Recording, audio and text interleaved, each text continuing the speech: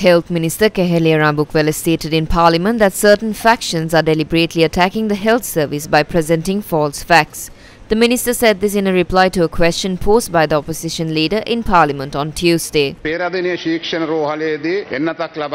speak of the woman who died after being administered a drug at the Peradeniya Teaching Hospital. This drug was first imported to Sri Lanka on the 21st of October 2013. It has been in use for almost two decades and was imported by the reputed Bowers company. When the woman in question developed a situation, there were 12 others who were given the same IV present at the ward at the time. In total, 16 people were given the same vaccine. It appears the data is coming from the Kumudesh laboratory. You are obtaining information from the Kumudesh laboratory and yelling in the house. You are saying that the woman in question died of poisoning. That is a crime. This is a planned attack on the country's health sector.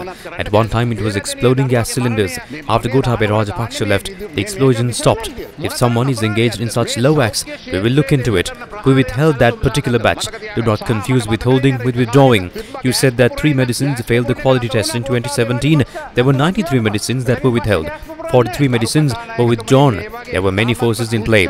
These emergency purchases were being made in accordance with the provisions for the guidelines on emergency purchases related to the health sector introduced by the Treasury. Also, during the purchase of these medicines, it is said that the relevant purchase has been made subject to the reduction of prices from the substantial responsive bidders who have submitted bids in this regard and that the purchase has not been made under those prices. Also, in carrying out these procurement activities, bids have been invited from bidders who are registered from the National Medicines Regulatory Authority and have NMRA registration with delivery schedule and available stocks, so there is no problem with the quality of these drugs. The main reason for this deadlock is that in the last period of NMRA, only one of five documents is passed, the other four are not adopted. I stopped this disgraceful work, that's why they have launched this attack. I can withstand it all. I will allow the leader of the opposition to ask for a debate one Let's talk about you as a party leader. It's not surprising that such a situation occurs when you go to a hospital. That's what hospitals are for. If 100,000 enter the hospital, not all will come back fully cured. Unfortunately for them, there is a flower shop in front of the spiritual house. This is the reality. If someone wants to get a ministerial position, that's a different story. But the problem is that by doing that, you have also misled this country. I will personally come to talk to you about this. I will come to your office. If what you say is true, I will accept it very humbly, I have no argument for that. If there has been such a mistake on my part, I will be subject to whatever punishments you give. I believe there are flaws. I can't say there are no flaws in this situation. Do not betray this free health sector to fulfill those ambitions. Uh,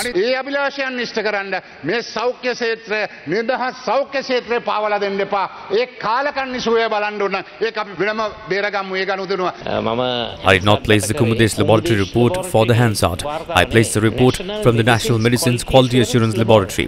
Does that belong to Kumudesh or the government? Are you saying that I am lying? I do not produce false reports.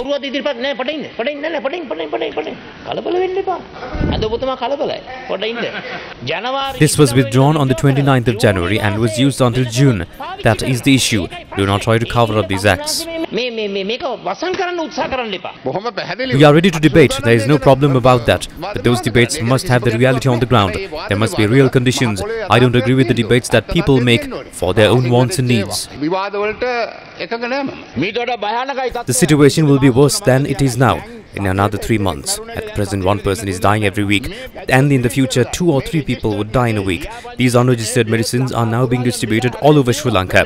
Why can't you stop it? There is a procedure for that too. That procedure will take three months.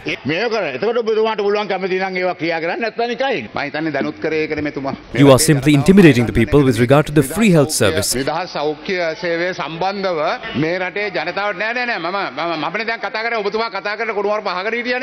I am speaking now and I was listening to what you had to say. I am ready to speak. It appears you all are specialists. If there is a shortcoming, we will address that. You are speaking of increasing debts. What are you trying to say here? This is a blow to the free healthcare system in the country. When one thing is asked from the minister, he responds with another. You are speaking about V. Nataraja from Peace Associates. The tender process was not followed.